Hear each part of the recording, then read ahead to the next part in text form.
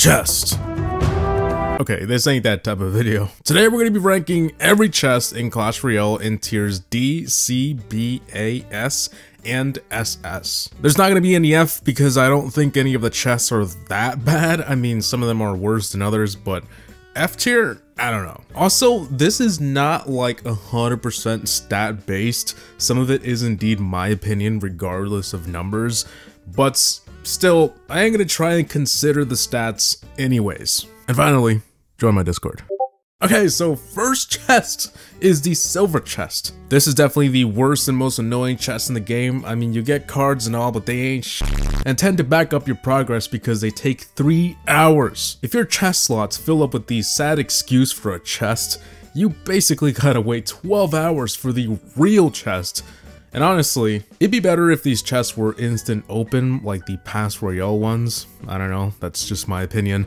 I'm sorry buddy, you just saying it. Wooden chest. Now, I originally wanted to put this chest at C because memes. But if we put all of that to the side, the chest is actually fairly bad. Like I know the legendary drop rate was higher on these than the silver chest and there's a lot of good memories around this chest, but it really wasn't all that. The only reason we remember it being so good is simply because it was amazing to see a legendary out of a wooden chest. Not because the chest was godly, you know? So yeah, unfortunately, this is gonna be at the lowest tier. Legendary King's Chest. The King's Chest, big brother. This is certainly not the best of the best, but it's 90% there, so I think S tier is appropriate. This is pretty much the best chest you can buy anytime, anywhere, and it definitely feels nice when you get it from a battle or a challenge. Gold Chest. Y'all are probably gonna hate me for putting this next to the wooden and silver, as they don't really compare, but I couldn't make myself put this at C. I mean, it's literally dog shit compared to the big boys. It is better than all of the other chests at D, so I'm gonna put this at the very beginning. Legendary chest. Over time, this chest has become less and less worth it, but one thing that hasn't changed is the consistency of always providing one legendary. It never gets old. It's simple, fast, and only costs 5 bucks. Although, I don't think it's an S tier because there's just way too many legendaries and you can't even buy it whenever you want. But I would much rather pay the gems to unlock it when you finally get it from a match, not buy it. Giant chest. The first actually good chest in the chest cycle is Beefed Up Woody, the giant chest. Now it's not amazing, but certainly better than getting silver and gold chests. You get a pretty decent amount of gold and cards, and the legendary rate on these is most likely significantly higher. Although, I do have one complaint, and it's the unlock time. King's Chest. This is the smaller version of the legendary King's Chest, and I think it basically removes all of the good things about the better chest. It does not guarantee a legendary, and in terms of stats, it's equivalent to a giant chest with more epics. I think it's a little cheaper than the legendary king's chest, but I don't think it's as worth it. Fortune chest. Yeah, it's better than the giant chest and all, but honestly, this chest felt like a cash grab since day one. If you see a legendary you want, you gotta pay $7 for a 10% shot at it. It's only at C because it's a decent chest in terms of cards and gold, but like, it ain't all that. Someone did let me know you can pull a champion from these, but it seems the odds are pretty low as well.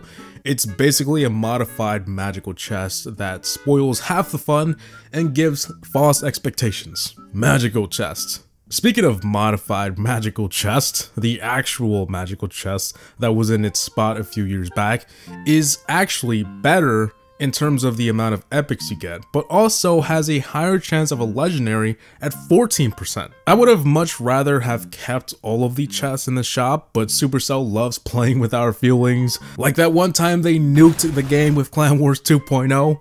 Yeah. Anyways, decent chest. Crown chest. I think these are the same as the gold chest, but you get these from the pass, and before the pass, you used to get them from, well, getting crowns. I mean, you still get them by getting crowns, but it was a little different before. I mean, it was hard picking where to put this. I'm gonna have to put it somewhere in C or D. I don't know. I just can't really see this being any higher than that. Epic chest. It's not like amazing, but the epic chest is pretty sweet. You get like 20 epics, which equals to about 10,000 gold. It'd be better if these had strikes though, because you rarely get what you actually want, but it's whatever. Definitely a C tier chest for me. Clan chest. This chest isn't in the game anymore, but when it used to be, it was pretty lit. It had double the amount of cards as a magical chest at the time and a 10% chance of getting a legendary, so definitely do not confuse this with a better crown chest because it was honestly way better. Sure, it took some effort to get the highest clan chest, but it was actually fun. I just wish Supercell would have kept this in the game because I don't like that thing they do where they add something new and they remove the old stuff like why? You just, it ain't broken, it's fun. Super Magical Chest. Formerly the best chest in the game is already being forgotten as it was replaced by the Mega Lightning Chest and although I hate when Supercell does this, like I said, I'm not so bothered about this one. The chests are essentially the same except the Mega Lightning Chest has strikes. But yeah, Super Magical Chest definitely A tier. Lightning Chest. I know it's not as bad as a silver chest, but it might as well be because I hated these things. The only good thing about them was the strikes. The chest has a 1% chance of a legendary. That's ass. I don't know who's out here buying these. I'd rather gem open a decent chest. Mega Lightning Chest. Unlike the small lightning chest, you can actually get these by just playing the game, like you can get it from a match so it's much more valuable. It guarantees a legendary after a certain point, tons of cards, decent amount of gold, and I can't put it higher because there's just way better chest, but definitely an A tier chest for me. Gold crates. I love the idea of gold only chests, but the fact that these take 3, 6, and 12 hours respectively is a turn off. I don't know if I'm the only one that feels this way, but yeah. I want to say one thing though, and I think the overflowing chest is definitely a great one. Even though you don't get any cards, gold is worth a lot. And maybe an A would be nice for the highest gold crate. And then the smaller crates would be somewhere around B. Battle chest. I'm pretty sure this was the same as the clan chest, just a different event. I mean, they may have been a little different, but I don't remember them being as different as comparing a dog to a dinosaur, so the same tier as the clan chest seems okay to me. Oh, and yeah, it was removed, RIP. Clan War Chest.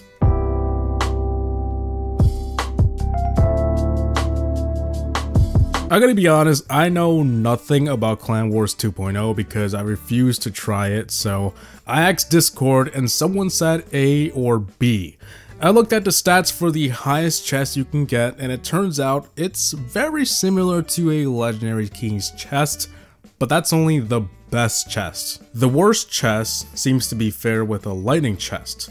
So I'm a little confused on where to put these. I'm gonna split these into two in this case, putting the best chest at S and the worst at D. I'm not sure if I'm picking the correct pictures for these, but yeah, you know what I mean. Also, shout out to Ride Yoshi. He was a tremendous help with this list. It was very nice to get second opinions from someone else, so uh, yeah.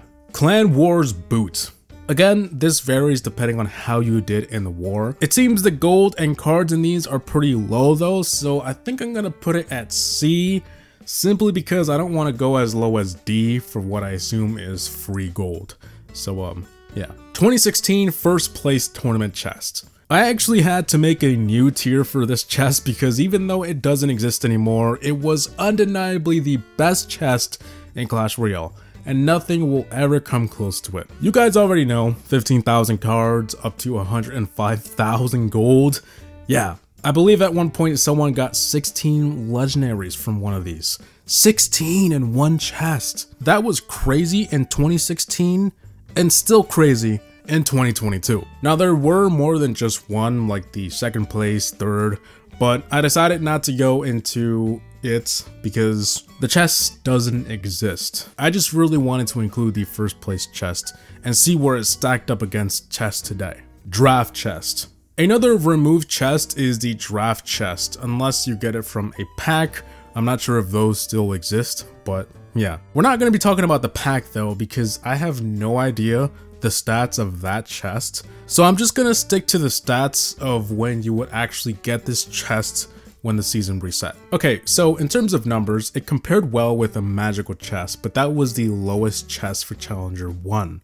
If you went all the way up to Ultimate Champion, the chest had about the same amount of gold in the highest overflowing gold crate and about one and a half times more cards than a Legendary King's chest at about 500. It's a little hard to place this one with those kind of numbers varying between chests, but if you got the highest chest possible, I would definitely put this at S tier. In fact, it'll probably be at the very beginning of S tier. The lowest draft chest I'll put at the same tier as the magical chest. Classic challenge chest. If you manage to beat 12 players, you would get a chest equivalent to a crown chest, which is a little sad. It's not horrible though, so I don't want to put it at D, but like, you should only play this challenge if you're just trying to practice for the Grand Challenge. I'm gonna put this at the very end of C. It was almost D. Grand Challenge Chest. Speaking of Grand Challenge, the chest for this one is insane